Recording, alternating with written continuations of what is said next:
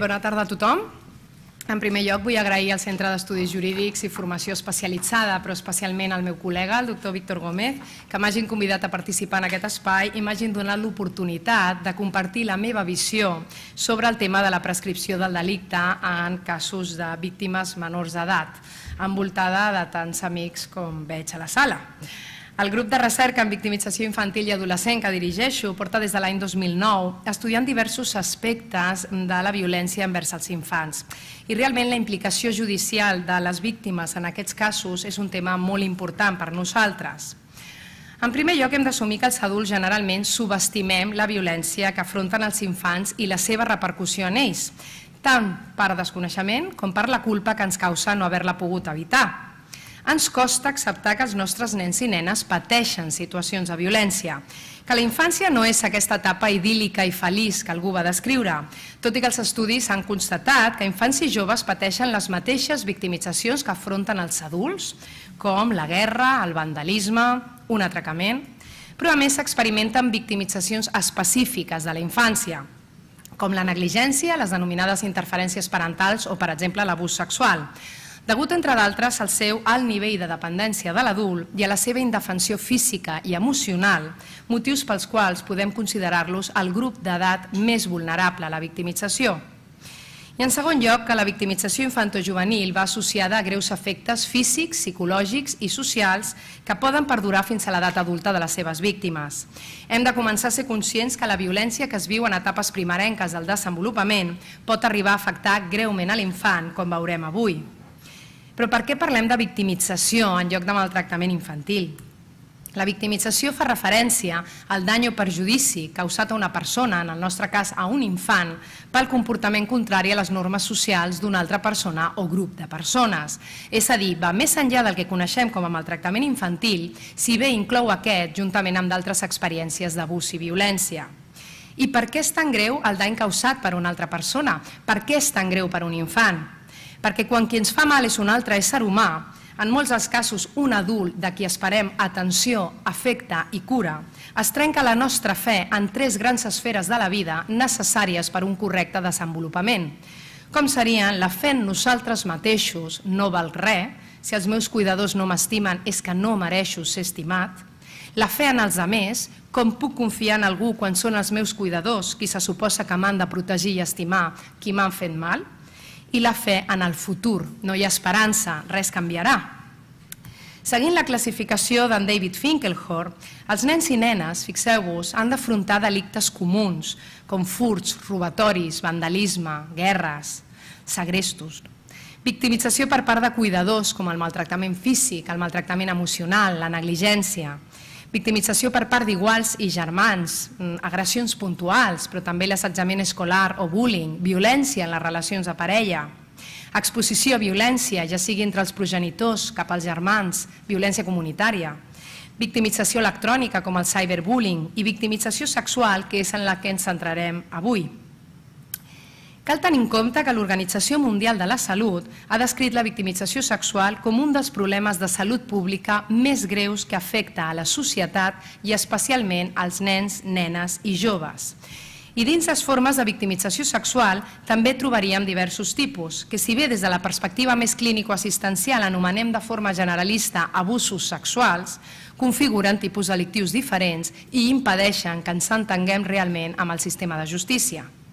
Parlaríem d'abusos sexuals, que és el terme més utilitzat quan parlem de delictes sexuals contra menors, donat que no hi ha un ús eh, de violència i intimidació perquè l'adult, senzillament amb la seva figura d'autoritat o la relació afectiva que manté amb l'infant, pot fer que aquest accedeixi a les seves peticions.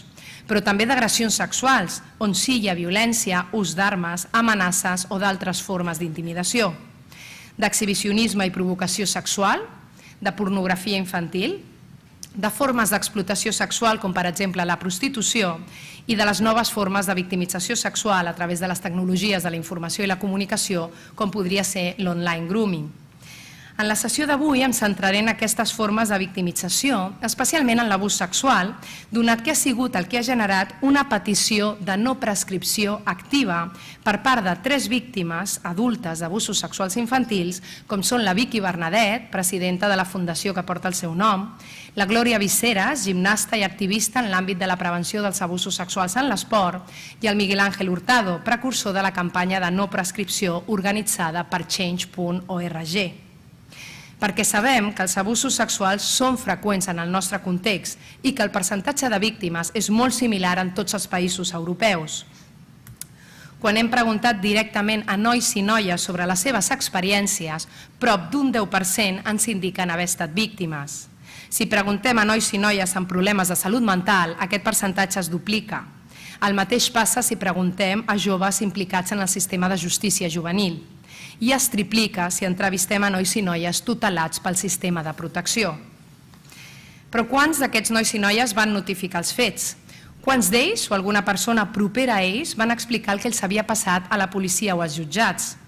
El percentatge, com poden veure, és d'un 9,3%.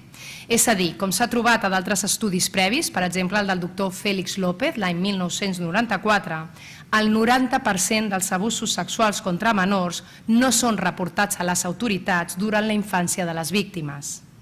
Altres estudis europeus amb metodologia similar han trobat un percentatge molt semblant que sempre se situa per sota del 10% dels casos. I aquestes xifres mostren que la revelació dels abusos no és immediata i que en molts casos requereix d'un procés de recuperació emocional i de reflexió per part de les seves víctimes.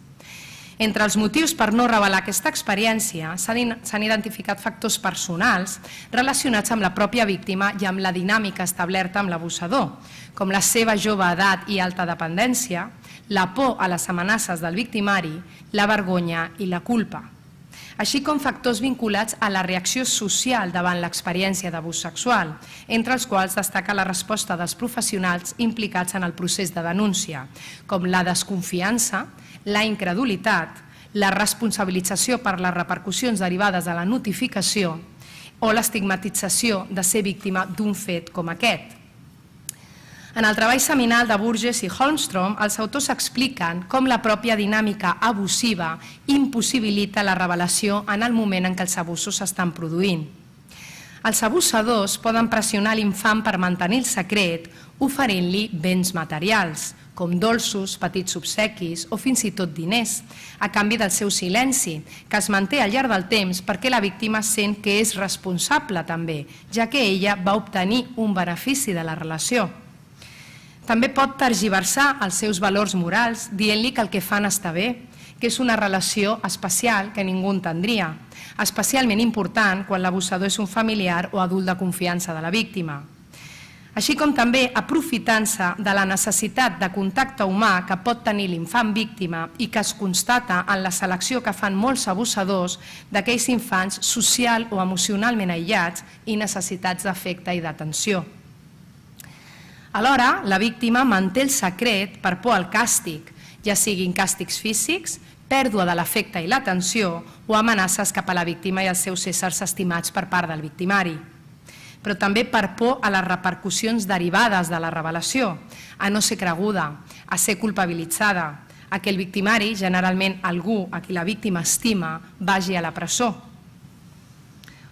O por a l'abandonament i al rebuig, a trencar la família, a ser allunyada de casa seva i portada a un centre, entre d'altres però també a barreres comunicatives. En alguns casos, l'agressor pot assegurar-se el manteniment del secret abusant de menors que no poden explicar el que han viscut a causa del seu nivell de desenvolupament o de les seves dificultats comunicatives. És a dir, són nens molt petits o amb importants problemes cognitius. Anys més tard, el model de Summit defensa que el secret que imposa el victimari a la víctima, especialment quan l'abús és intrafamiliar, ja sigui mitjançant la manipulació emocional, l'amenaça o fins i tot la violència, és al mateix temps la font de temor i la promesa de salvació. El secret la fa creure que té el poder de destruir la seva família i la responsabilitat de mantenir-la unida. Els valors morals es troben totalment alterats, ja que mentir i mantenir el secret és una gran virtut per la víctima, mentre que explicar el que passa suposarà un gran càstig. El secret de la relació estigmatitza, avergonyeix i aïlla la víctima, impedint-li buscar ajuda. Però no és únicament la conducta sexual la que estigmatitza i avergonyeix el menor, sinó el secret d'aquesta relació que el nen percep com a perillosa i inadequada. Això porta que la revelació dels fets sigui tardana, conflictiva i poc convincent. La víctima d'abús sexual intrafamiliar sol mantenir el silenci fins que arriba a l'adolescència o l'edat adulta i se sent capaç d'explicar l'abús a algú proper. Però llavors és massa tard i aquesta persona acostuma a dubtar i a preguntar-se per què la víctima no ha parlat abans. I tot això pot portar a la seva retractació, ja que l'abús resti en el secret i el silenci. Cal afegir a tots aquests models l'existència de defenses dissociatives en les víctimes d'experiències traumàtiques, com l'abús sexual, que fan que l'infant pugui mantenir les emocions vinculades amb l'experiència allunyades de la seva vida quotidiana i seguir com si no passés res. Aquest tipus de defenses són adaptatives durant la infància, ja que permeten a la víctima continuar amb la seva vida en un moment en el que no pot fer res més, però alhora la impedeixen revelar els fets, en els casos més extrems, l'infant pot fins i tot desenvolupar amnèsia dissociativa i costar-li molt recordar el que va passar en etapes vitals posteriors, així que portar un testimoni a l'edat adulta complet i creïble li seria molt difícil. La dissociació és un fenomen molt freqüent en víctimes d'abús sexual infantil i si bé generalment les víctimes passen per un procés de dol durant l'adolescència que els permet fer front als fets a l'edat adulta, cal un temps de maduració personal i de reflexió per poder estar preparada per notificar l'autoritat el que s'ha viscut. En molts casos, quan això passa, el delicte ha prescrit i la víctima no té capacitat ja de denunciar els fets. A la imatge poden veure un dibuix fet per una víctima d'abusos sexuals i publicat pels seus terapeutes que mostra gràficament aquesta dissociació. A la part de l'esquerra poden veure el malestar i el dolor associat amb l'experiència d'abús i a la dreta l'aparent normalitat que mostra la víctima a la seva vida quotidiana. I cal afegir l'anomenat efecte naming, blaming, claiming, que els meus estudiants que estan a la sala coneixen molt bé, descrit per Felstiner i col·laboradors als 80 a la revista Law and Society, i que defensa que el sistema judicial ha d'entendre que la víctima, especialment de delictes sexuals, li costa molt posar nom al que ha viscut, el que anomenem naming. Culpar el victimari i no culpar-se a si mateixes, el blaming, així com revelar la seva victimització i testificar en un judici explicant amb detall la seva experiència, el que seria el claiming. I totes aquestes exposicions més teòriques es veuen confirmades quan es pregunta a víctimes reals sobre els motius per no notificar. L'estudi clàssic de Palmer i col·laboradors mostra que de 384 adults que van ser víctimes d'abús sexual i d'altres formes de violència per part dels seus pares o cuidadors principals, 262 no van revelar els fets i els motius principals van ser la por, la por a l'abusador en un 85% dels casos, la por a les eh, reaccions negatives d'altres membres de la família en un 80% dels casos. La por a no ser cregut en un 72% dels casos. Així com la culpa en un 62% dels casos i la manca de consciència del que estava passant en un 52%. Tenim la sort de disposar d'un estudi en el nostre país fet per Tamarit i col·laboradors, en col·laboració també amb la Fundació Vicky Bernadet, on van entrevistar a 20 dones i 3 homes adults víctimes d'abús sexual infantil i d'aquests, la majoria, 14, van decidir no denunciar els fets, al·ludint en primer lloc a vincles familiars amb l'abusador en un 64% dels casos, seguit de la pèrdua de significat de la denúncia en el moment actual, en un 57,1% dels casos, a la repressió dels records o un estat de confusió respecte a l'abús, en un 50%, a no estar emocionalment preparat per la denúncia, a no haver revelat l'abús a la família o als pares, a la desconfiança cap al sistema de justícia i a factors relacionats amb les poques expectatives d'èxit, tots ells en un 42,9% dels casos. I veiem, doncs, que revelar els fets no és un procés fàcil per la víctima d'abús sexual, com tantes vegades la societat general i fins i tot alguns professionals tendeixen a creure. que cal superar pors que són insuperables per un infant, que cal trencar amb emocions que et mantenen unit a la persona abusadora, que cal lluitar contra el malestar personal que genera l'abús i que et fa sentir responsable i culpable del que va passar. La qüestió, doncs, potser que s'estan plantejant és, és important per la víctima denunciar els fets? Doncs bé, seguint la proposta de Guzzel i col·laboradors, la implicació de la víctima en el sistema de justícia sempre té uns efectes, que els autors denominen critogènics, és a dir, derivats del sistema de justícia, però que no tenen per què ser negatius a priori. Tots coneixem els efectes devastadors de la victimització secundària que no tractaré aquí, però i si el sistema pogués ser també positiu? Aquesta idea, de fet, ha estat desenvolupada per la perspectiva de la denominada justícia terapèutica impulsada pel doctor David Wexler. Doncs bé, diversos estudis empírics, no centrats exclusivament en víctimes d'abús sexual, però incloent aquestes, mostren que realment la notificació dels fets a l'autoritat és positiva per una gran majoria de les víctimes. Per exemple, l'estudi d'Eliot i col·laboradors, basat en les respostes de 110 adults víctimes, defensa que la violació que suposa la victimització per la víctima genera un gran sentiment d'indefensió, així com un sentiment d'inseguretat constant, ja que el victimari pot tornar a fer-li mal. El contacte amb l'autoritat per la víctima suposa la validació del que ha passat.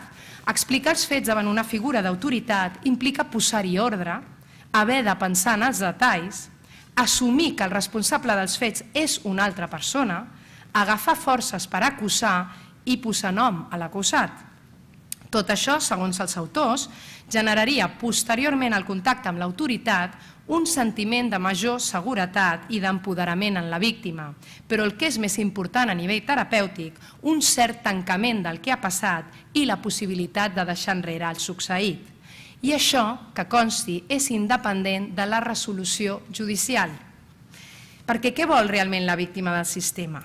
Doncs bé, segons el metaanàlisi molt recent de l'Axminara i col·laboradors, després de la revisió de 22 estudis que havien entrevistat a víctimes sobre la seva participació en el sistema de justícia, bàsicament el que demanen és bon tracte, respecte, exactitud en el procés, imparcialitat i justícia.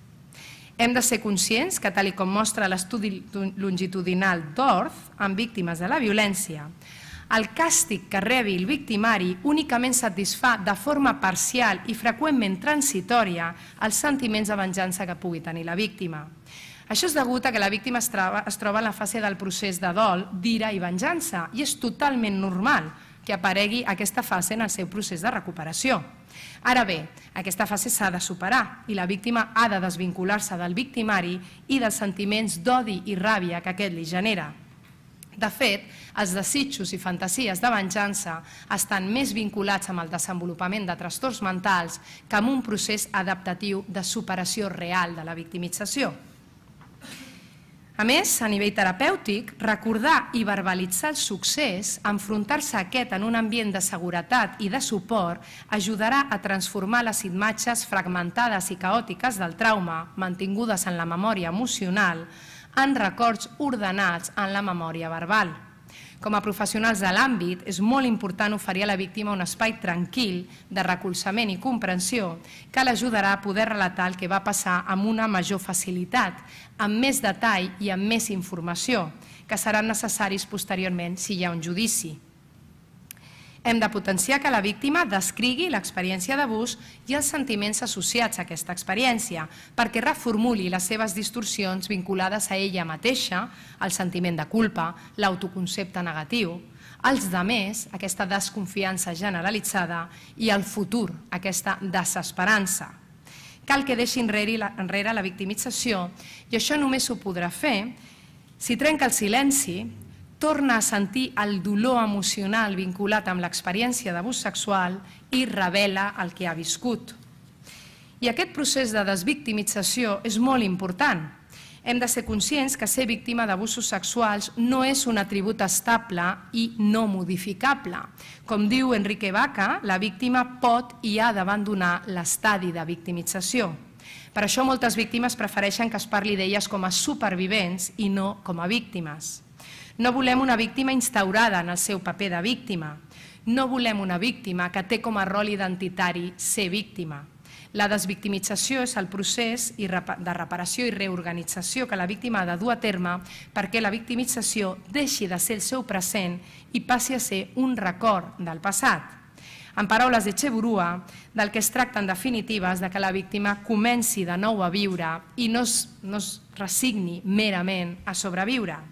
I per això, en molts casos, posar una denúncia és l'inici d'una nova vida. Però i si la víctima no revela els fets?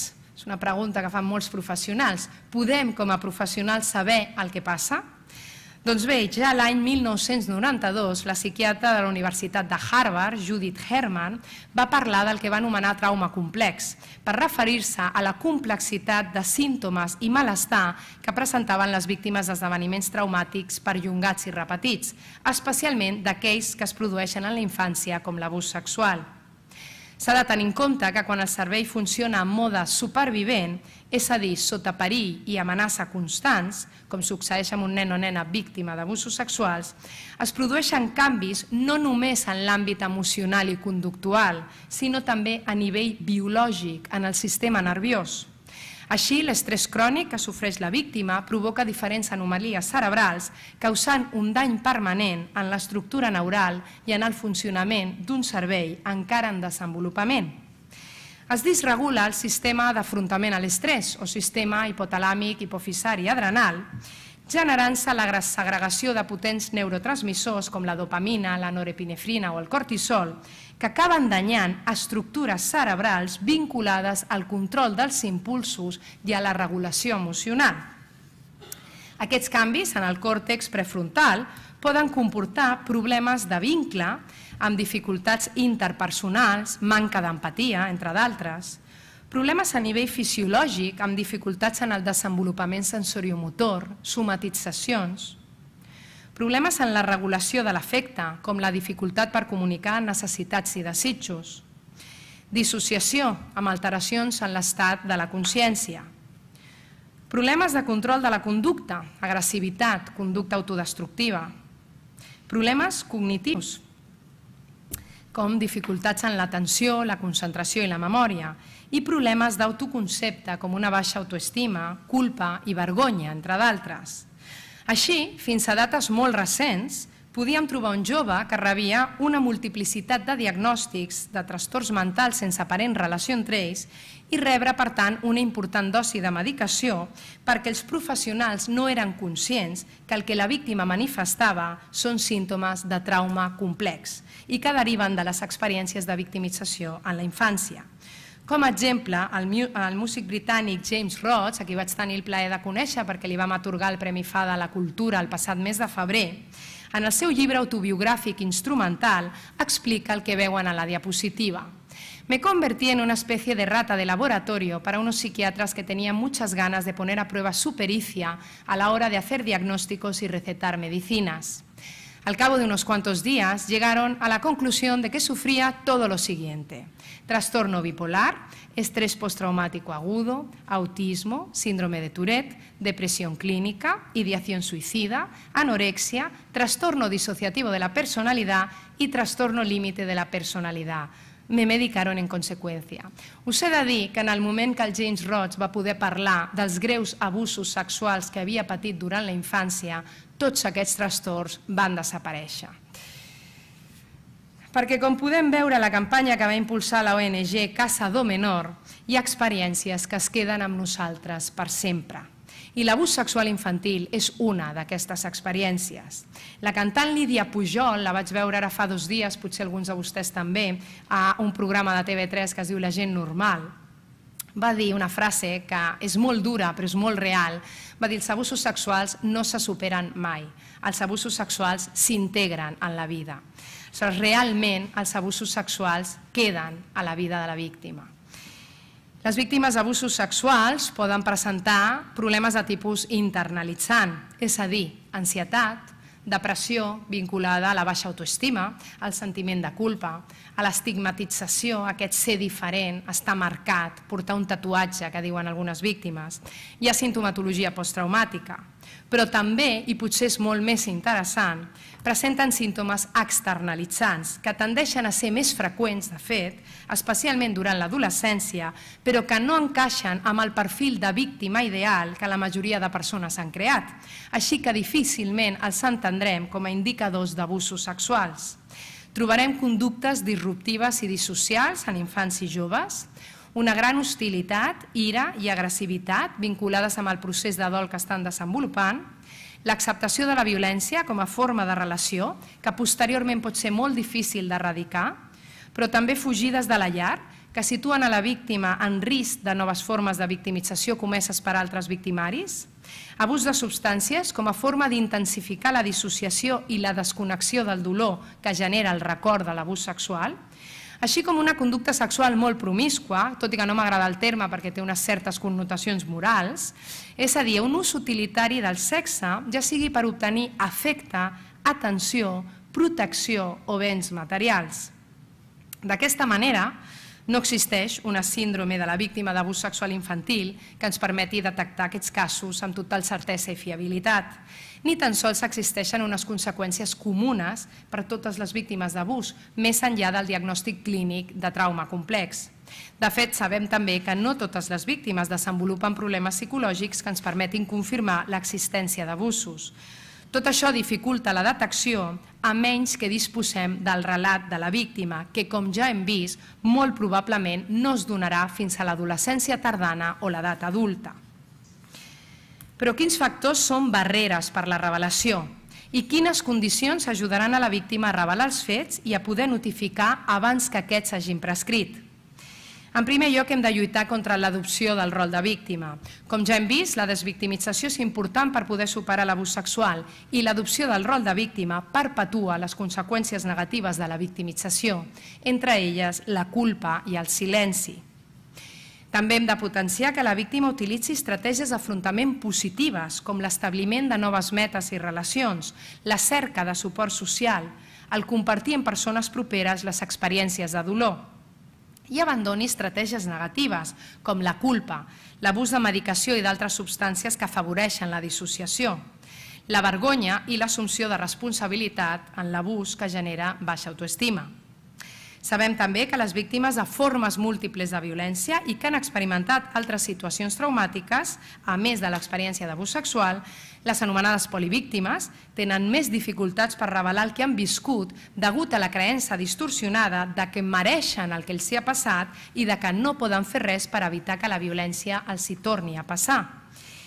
Hem d'ajudar la víctima a fer el dol i adaptar-se a la nova vida que suposa haver estat víctima d'abús sexual, integrar aquesta experiència, com deia la Lídia Pujol, ja que no, la, la no acceptació d'aquesta realitat comporta problemes per la seva superació.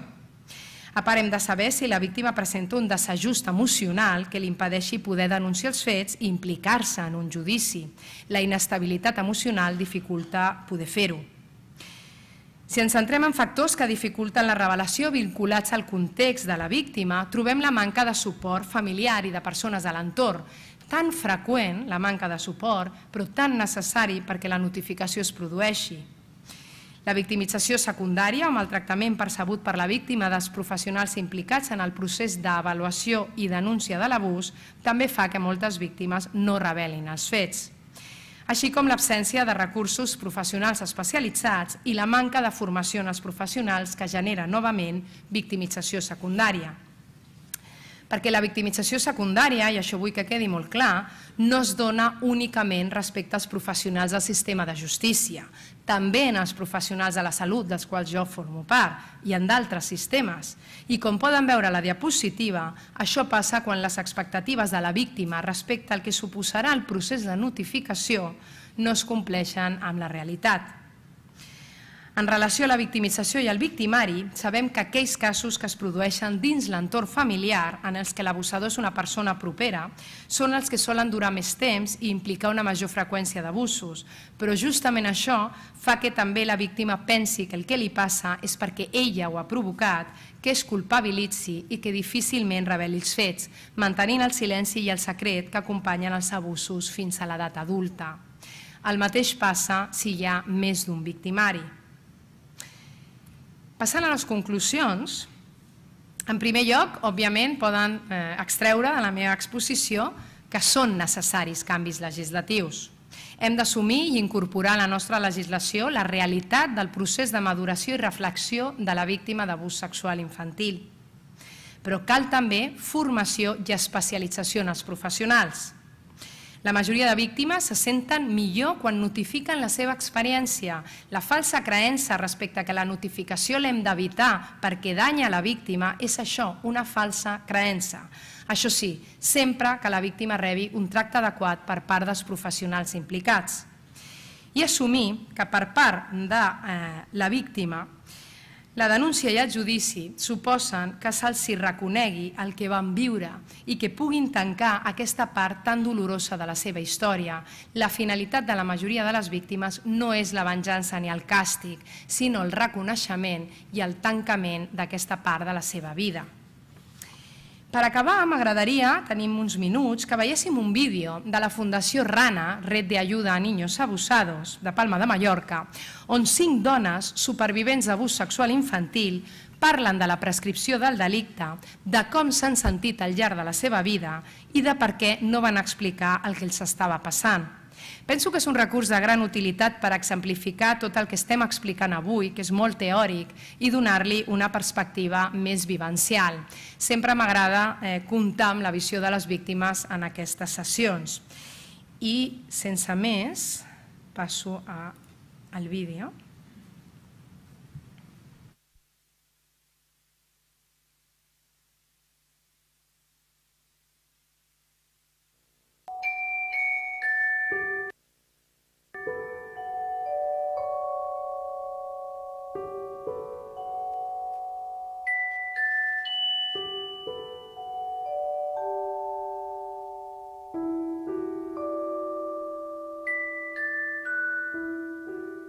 He tenido la experiencia bloqueada mentalmente durante 38 años. Es decir, que no me he acordado de nada eh, hasta la edad de 38 años. Eh, creo que bueno, les pasa a muchos niños que no saben gestionar la situación. Emocionalmente es tan fuerte porque en mi caso era mi padre. Entonces la única manera de sobrevivir es hacer como si no existiera. Entonces eso lo pones en el fondo de, tu memoria, de tu mente, y así puedes seguir viviendo, si no, no, no puedes seguir viviendo. Comenzaron los abusos a los 7 años y duraron hasta los 17 años. Y yo en mi caso lo conté siendo pequeña, se lo conté a mi madre, era, el abusador era su marido, mi padrastro, y en mi, y en mi caso, la primera vez que lo cuento, uh, no me cree. Se lo cuento directamente a ella y el, el abusador cogió, y, le dio la, y le dio la vuelta. Dijo que yo era la que, la que la había buscado.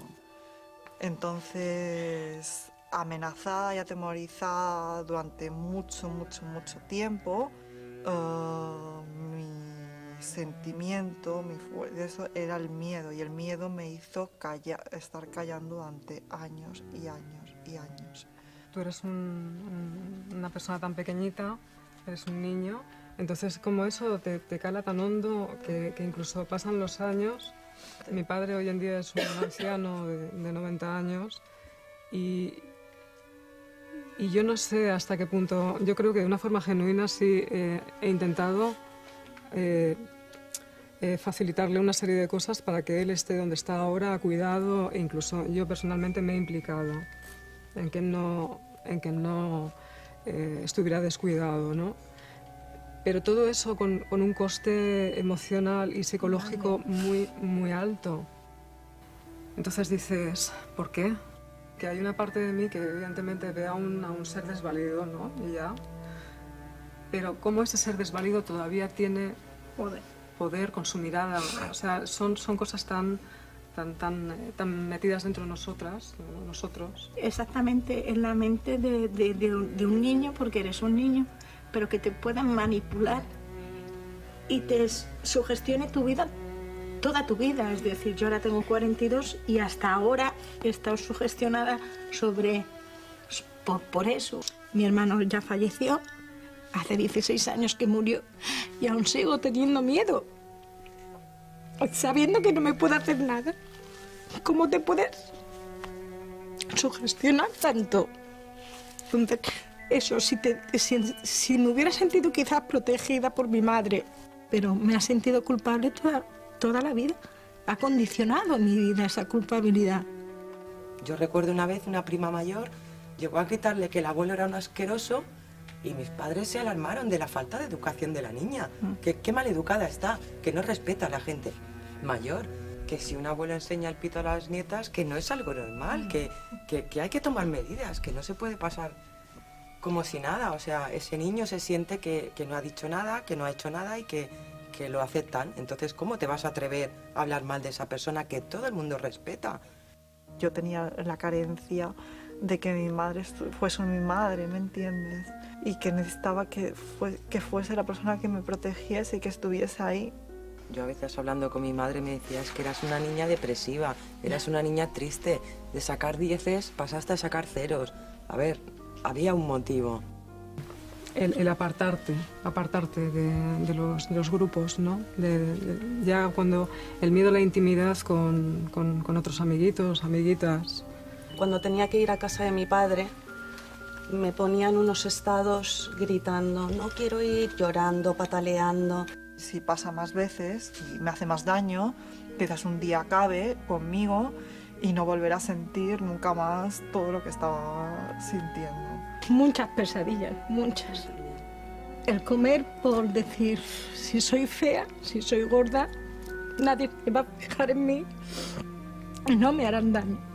Entonces hay consecuencias fí- físicas sobre todo lo que es el, el concepto de uno mismo, el concepto que tiene de sí físicamente, eh, un desprecio hacia sí mismo, un- continuo. Una, Eh, una, eh, de- una des- desvalorización Es- con- eso. como muy, muy, muy co- continua. Y luego lo que sí me gustaría decir, que aquí somos mujeres, pero que también este problema lo sufren los hombres, que quizás es más difícil para ellos decirlo, porque estamos acostumbrados que el hombre es el abusador, pero es que hay niños que son abusados. El abusador solo busca su placer, no busca nada más. Somos utensilios en sus manos.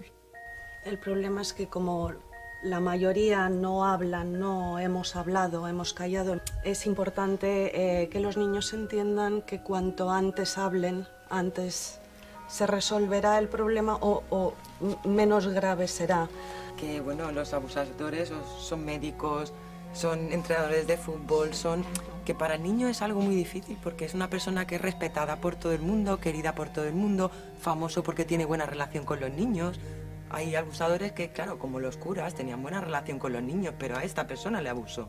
Eh, yo creo incluso que la gente que tiene cierto poder eh, aprovecha ese poder precisamente para utilizarlo y para protegerse, porque luego tienen en general a la opinión pública a su favor. Y lo triste es que cuando algún caso de esto sale a la luz, hay muchísima gente, ah, sí, había un niño que dijo, pero no le hicieron caso, o algo se escuchó, o algo había rumores, pero no era. Entonces, sí, se podía haber evitado, pero en, en el primer momento que escucharon no hicieron caso, le dieron por mentiroso, entonces ha ido creciendo, porque el abusador no abusa de uno.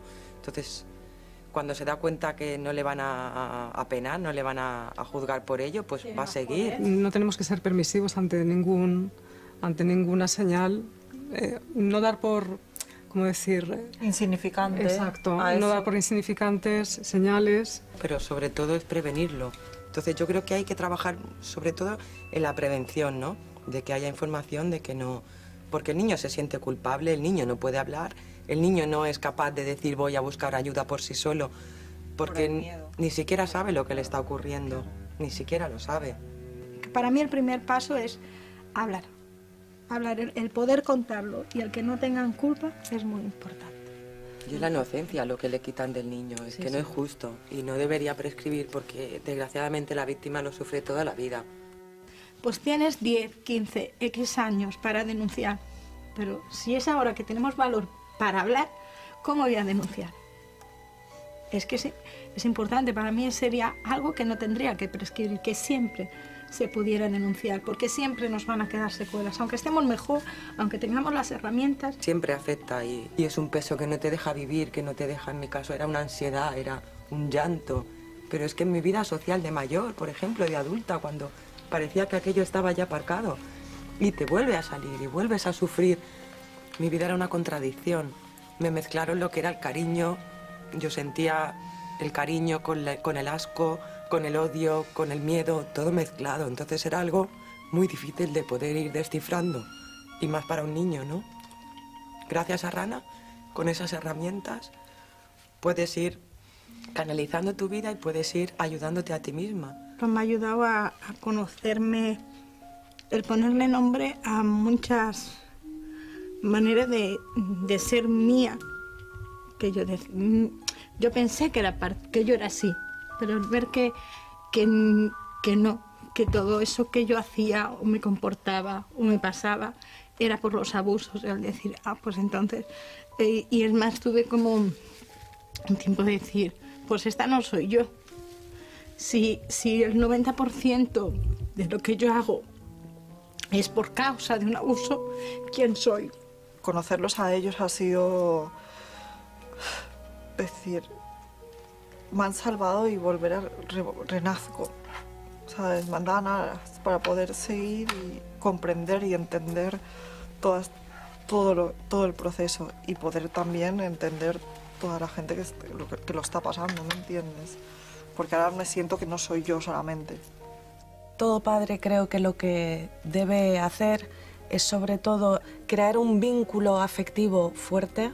Eh, pero si no hay una confianza entre el padre y los padres y el hijo, nunca, nunca te van a contar.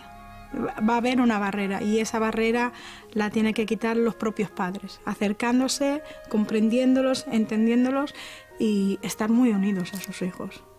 No es justo que cuando un niño no quiere dar un beso, los padres le obliguen. No hay que obligarlo. Es, es muy importante que los, que los padres tengan un, un, lenguaje sano y natural con sus hijos a la hora de, de, de hablarles de la, de la sexualidad. Ya seas un familiar o un vecino, hay que actuar ante el abuso. Cualquier señal hay que actuar y proteger a los niños. Fundamental actuar ante cualquier indicio y ante cualquier señal, por pequeñita que sea, da igual. Hay que actuar y, ayudar. Además de, de, haber pensado que habría sido mi vida si no hubiera sufrido el abuso, o si hubiera tenido ayuda para poder hablar y para que me hubieran ayudado, ¿no? Aún así, nunca es tarde. He sido una niña abusada, pero vivo mi vida feliz. Se puede vivir, se puede seguir hacia adelante. Hay que pedir ayuda, hay que gritarlo, hay que contarlo, porque si lo callas, nunca sanas. Se puede, se puede, aunque sea duro, porque tendremos que vivir toda la vida con esto, pero podremos seguir caminando y normalizar nuestra vida. Se puede salir adelante, se puede vivir de otra forma y, y, y se puede superar.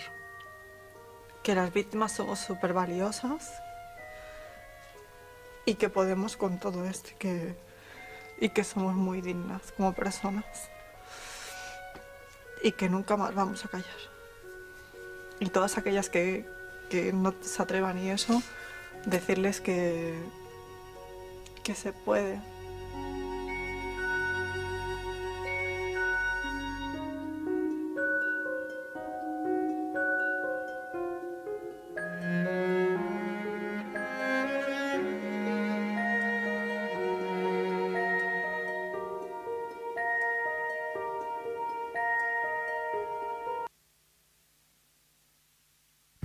Aquest missatge positiu de les víctimes. Eh, moltes gràcies per la seva atenció i sense més dono la paraula al meu col·lega, el doctor Víctor Gómez.